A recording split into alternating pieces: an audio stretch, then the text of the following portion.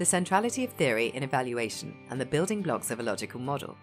This video was shot at the Interact event Impact Evaluations Methods and Terms of References on the 21st of June 2016 in Amsterdam, the Netherlands.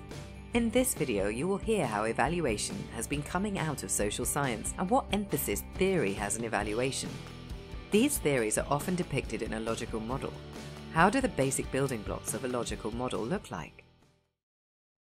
First thing to say is that evaluation is not new. In the wider scheme of things, evaluation as a social science has really been going since about 1920. Yeah, so it's coming out very much of the industrialization process, uh, some of the new economic thinking in America uh, after um, uh, the sort of, you know, the, the, the sort of Fordian uh, development of manufacturing. And what Jakob Edler, this character at Manchester Institute of Innovation, says is that evaluation really has got two perspectives in his mind. One, evaluation as part of the general practice of science. So people in science, people in social science, use evaluation as a tool and a technique to understand and progress scientific thinking. But that sort of development of evaluation within the scientific, social scientific realm has now sort of grown into the broader requirement for evaluation of publicly funded activities, publicly funded uh, interventions of the sort that we're all doing. And I mention that because understanding that evaluation has essentially come out of social science then begins to explain the origin of or the emphasis on theory. Yeah? Because most science, most social science actually builds itself around theory thinking. And that sort of little, what they call the evaluation tree, just gives you a flavour. These are all essentially academics who, this last 30 or 40 years, have sort of developed thinking of evaluation in terms of its use. These folks around here, folks like Dave Williams, folks like um, Marvin Alkin, or methods, how you evaluate, uh, how you develop evaluation methods, or how you actually, when you do evaluate, start to put values on things.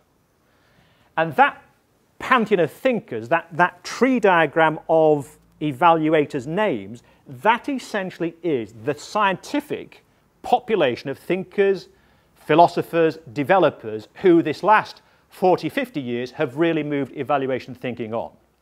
And core to that thinking has been the development of theory-based approaches, and that emphasis on theory-based approaches is now being picked up by the Treasury, my country, it's now being picked up by treasuries in your country, and crucially is being picked up uh, by the European Commission.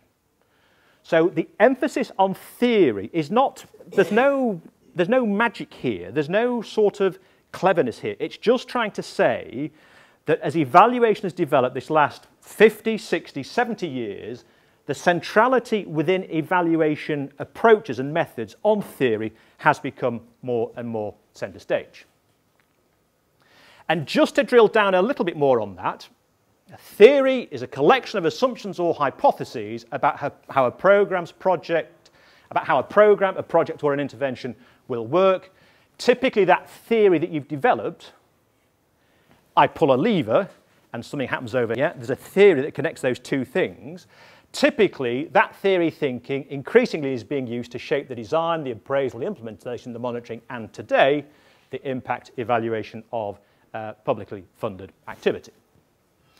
It's typically the theory depicted in the form of a logic model. Yeah. Again, there's nothing magical about a, log a logic model. People call it a logic chain, an intervention chain, an intervention logic, a log frame, a causal chain. Tons of expressions here. It's just a straightforward depiction of lever one, result two, what's in between. Yeah? And what it is trying to do is codify the theory into a set of inputs, a set of activities, a set of results, and maybe in the long term some wider impacts, and trying to explain the key contextual factors that links those components together. And the argument runs that theories matter for interventions, for projects, for programs, whatever, because they provide the constant over the life of the intervention by which things can be tested, be it appraisal, be it in delivery, be it evaluation, and also, the theory provides a common language by which partners and deliverers can act, proceed, and change direction as and when necessary. Right, so that's all the sort of scientific, social scientific stuff out of the way. That's where the phrase theory comes from. Nothing magical, nothing clever about that. The form of a logic model. And you'll have all seen this diagram, or something like it. The basic building blocks of a logic model start with the conditions, what's broken that we need to fix. Yep.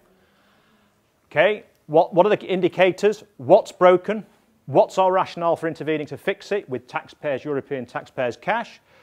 What, in the light of that rationale, are the objectives we want to set ourselves? What, in the light of those objectives, inputs do we require? What do those inputs allow us to do activity-wise?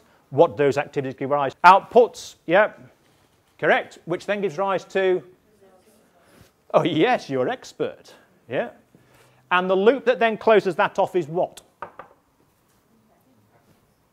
From loop from where to where? So you're saying where? From results back to condition indicators. Any alternatives to that? To close the logical loop of thinking, something's broken, we're trying to repair it, we've done some things. The logical step to close is absolutely, are we by doing those things then addressing those conditions that were broken in the first place? And you may not like you may not me you may not like me saying this, but the biggest success, the biggest token of your success as program designers, implementers, monitors and evaluators is you're so good we make you all unemployed because your projects are so effective down here at addressing that up there, we don't need you again. You fix the problem. Yeah. So there's no problems. Yeah. New problems. Well, there may be new problems, but on the existing problems, you've sorted out the existing problems. Yeah. And the difficulty with a lot of the experience we do in the UK, a lot of the stuff I see internationally is programs are very interested in understanding none of this stuff because that's all quite complicated. They are interested in that, how much we got to spend, quite interested in that, what are we doing, quite interested in outputs. But you know what? There's another, another program call just come through, so I've not got any time to look at results because I'm going to start looking again at inputs and the next set of activities. Yeah? So rather than having a logic chain that works from end to end, a lot of program activity is on a wheel. Yeah? Hamster wheel here. Give me another project. Give me some more funding. Give me another project. Give me some more funding. Give me another project. Give me some more funding. Yeah? And the results and the difference those results are making to the conditions often gets forgotten about.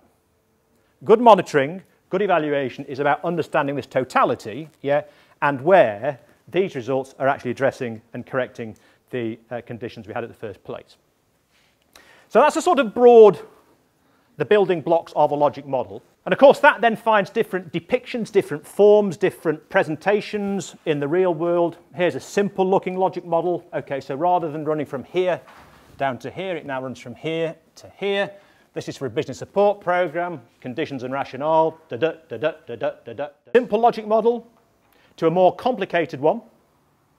Now, this is one that was developed for the European Commission, which was looking at the role of fruit and vegetables in health outcomes for school children. So you can begin to see just how quite complicated this thing is, yeah? how you actually ever, in the real world, evaluate or monitor this effectively, I think there's a question mark. Yeah, really quite complicated.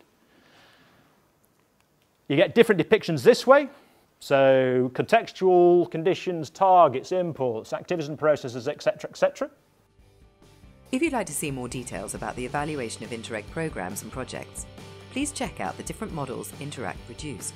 In each of the models, you will find various materials such as videos, guidance papers, Q&A documents, links and other details.